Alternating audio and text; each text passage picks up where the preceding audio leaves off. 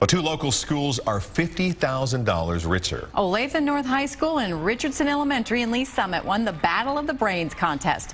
Burns McDonnell presented the awards to the students today at Union Station, and Olathe North's entry called Unplugged was chosen as the new exhibit at Science City. It uses props like giant hamster wheels to demonstrate how energy is converted into power. Because we took things that we enjoy and, and know that we've seen others enjoy and just wanted to make it and share it with everyone else. Now the two winners beat out 560 other entries. Both schools say they would like to use the grant money to buy new equipment for their science departments.